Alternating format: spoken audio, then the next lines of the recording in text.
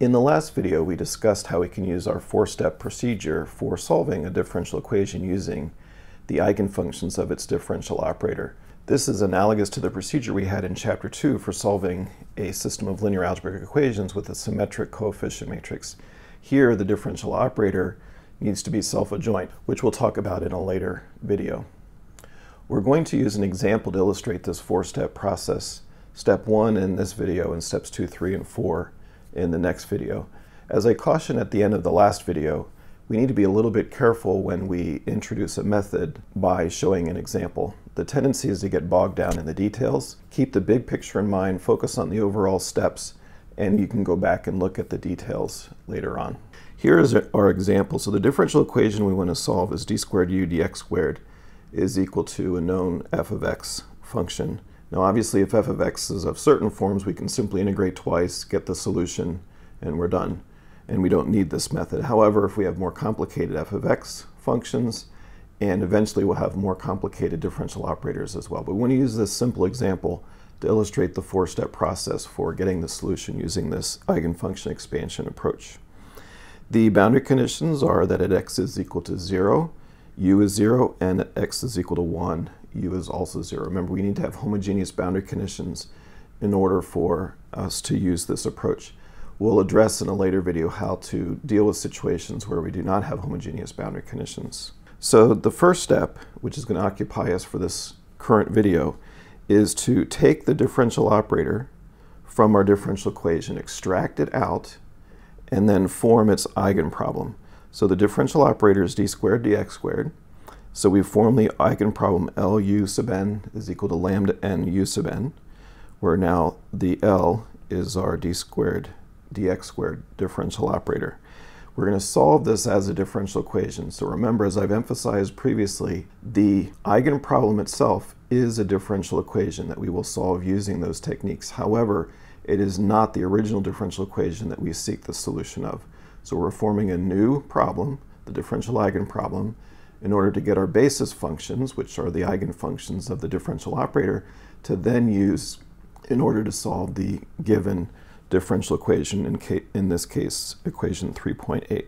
So as I said, we'll be using the general techniques for solving differential equations in order to solve this differential eigenproblem. We do need to keep in mind here, however, that lambda can be anything right at this point. We're looking for the values of lambda that give us non-trivial solutions, u sub n of x, those are the eigenfunctions. But at this point, lambda can be anything. It could be positive, negative, it could be zero. So we need to consider all those possible cases when we look for the general solutions of our differential eigenproblem. So let's first focus on the case when lambda is equal to zero. If lambda is zero, then the right-hand side is gone, and we simply have d squared un dx squared. We integrate that twice, and we simply get a straight line, c1x plus c2. We substitute in the boundary conditions, so at x is equal to 0, which gets rid of this term. u is equal to 0, so therefore c2 has to be 0. c2 is 0. Likewise, at x is equal to 1, u is also 0.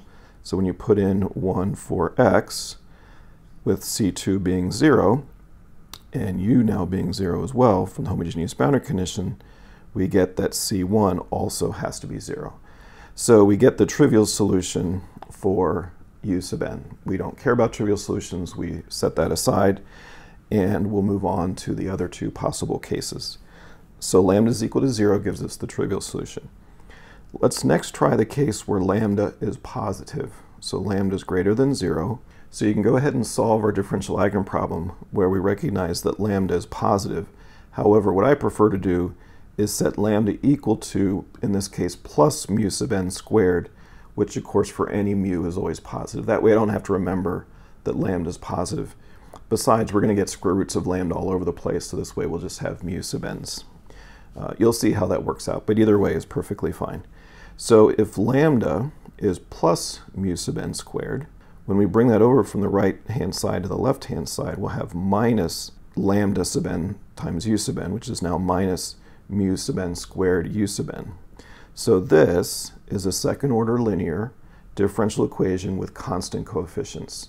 The general solution of that is an e to the rx. We substitute that into our differential equation. We get an algebraic equation for r. It's r squared plus mu squared is equal to 0.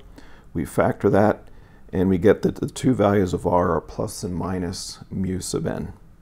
So the general solution, u sub n of x, is an integration constant times e to the mu sub n times x, plus another integration constant times e to the minus mu sub n times x.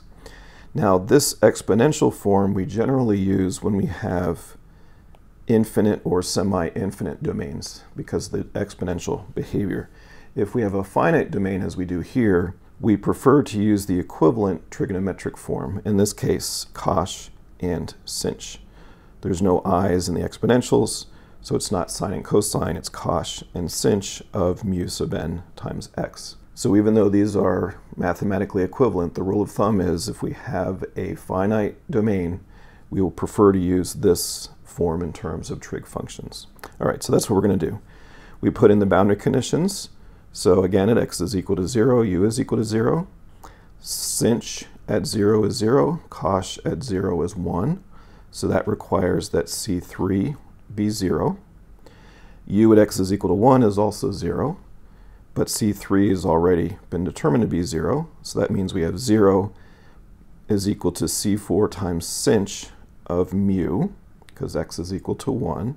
But in order for sinh to be equal to 0, mu would also have to be 0. But that's the case we already considered when lambda is 0. So again, this just gives us trivial solutions. Now we're done with this particular case, but let me show you a different way to formulate it, which actually is a little bit more helpful in seeing the characteristic equation in this case. So we could take this form here and think of this as a 2 by 2 matrix for the constants C3 and C4, in which case we have our 2 by 2 matrix of its coefficients, 1, 0, cosh mu, sinh mu, times C3, C4, and that's equal to 0.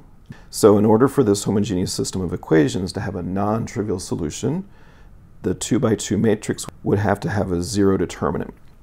So that determinant is 1 times sinh minus 0 times cosh is equal to 0. So sinh, again, is equal to 0, come to the same conclusion as we did before. So this is just an equivalent matrix form to get our characteristic equation. All right, so lambda is equal to 0 gives us trivial solutions. Lambda positive gives us trivial solutions. So let's consider the case when lambda is negative. So I'm going to say lambda is now minus mu sub n squared which of course is always zero regardless of the sign of mu. So then we have u double prime plus mu squared u is equal to zero. Because of the plus sign, when we substitute in the e to the rx, the general solution, we get r squared plus mu squared is equal to zero, which factors into r plus and minus i mu sub n. And so our general solution is now constants of integration times e to the minus i mu sub n times x plus e to the i mu sub n times x. Once again, we would use this form for semi-infinite or infinite domains. We prefer the equivalent trigonometric form if we have a finite domain, as in this case. So because of the presence of the i's, this is now a cosine and a sine of mu times x. So we'll use this form uh, going forward. Put in the boundary conditions, x equals 0, u is 0. So sine of 0, of course, is 0. Cosine of 0 is 1. So we have that 0 is equal to c5. In the second boundary condition, we have u sub n at 1 is equal to 0. So put in 1 for x, and we have 0 is equal to c6 sine of mu sub n. Again, this first term is gone because c5 is 0. So that gives us our characteristic equation. As I did in the previous case, we could also view this in matrix form. Look at these two equations. For two unknowns, we have the coefficient matrix, the two unknowns, and the homogeneous right-hand side. Take the determinant, 1 times sine minus 0 times cosine, and that determinant has to be equal to 0 to get a non-trivial solution. So that gives us our characteristic equation, which is 1 times sine minus 0 times cosine, so that sine of mu is equal to 0. So that's the characteristic equation. Now, in the matrix case, of course, the characteristic equation was a polynomial of degree n, n being the size of the matrix. Now we have an infinity of eigenvalues, so an infinity of mu values. So that means we have to have a transcendental equation for the characteristic equation. Transcendental is just a fancy way of saying it's not a polynomial function, essentially. Okay, so what are the values of mu for which sine of mu is equal to zero? Well, any integer multiple of pi, right? Positive or negative integer multiple of pi. So mu is then n times pi, where n is all the positive integers. We don't need the zero because that gives us the trivial solution. We saw that before. And we actually don't need the negative values of n, negative integers, because they give us the same eigenfunctions as we'll get for positive. I'll show you that in a moment. Okay, so the eigenvalues, we have lambda is minus mu squared, but now we know that mu is n pi, so lambda is minus n squared pi squared. So those are the infinity of eigenvalues of this differential operator. Likewise, the eigenfunctions, we had from back here our general solution, but C5 was zero. So our general eigenfunctions are constant times sine of mu times x. So those are our eigenfunctions, sine n pi x, where n is all the positive integers. Now just emphasize the subscripts. So I'm putting subscripts on the lambda, the mu, and in particular the u, in order to indicate that there are many of these, in fact an infinity of them, and it also distinguished the u sub n's, which are the eigenfunctions, from the solution u. So u is the solution of the differential equation, u sub n are all the eigenfunctions of the differential operator, which we'll use to get the solution u. Now let me just show you, as I said a moment ago, that if I take the negative value of n, I actually get back the same eigenfunction as the positive value.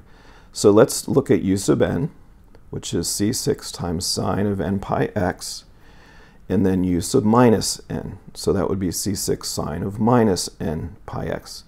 But sine of a negative number is just the negative of the sine of that number. So we just get back the negative of the eigenfunction.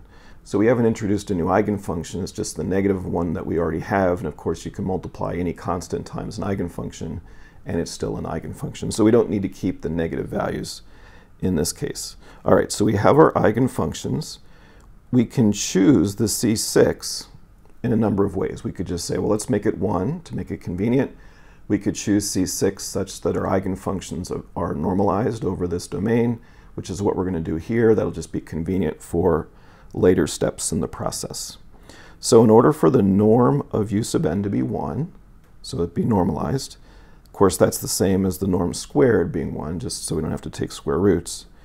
So we have the norm, which is the inner product of un with itself, so the integral of un squared from 0 to 1, and that integral has to be equal to 1.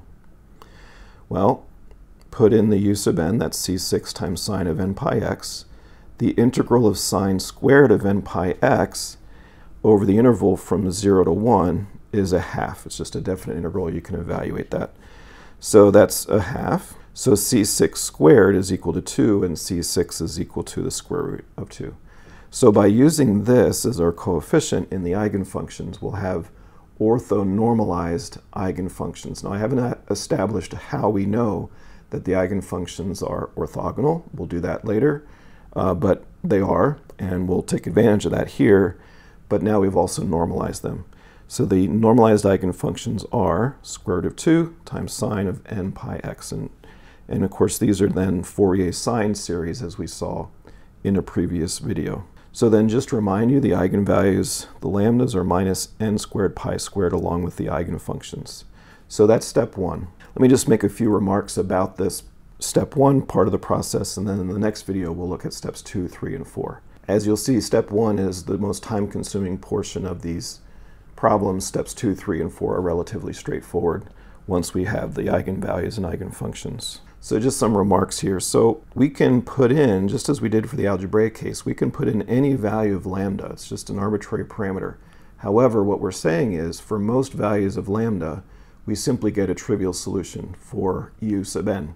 What we're looking for are the values of lambda that give us non-trivial solutions. Those are the eigenvalues of the differential operator. The corresponding u sub n's are the eigenfunctions of that same differential operator.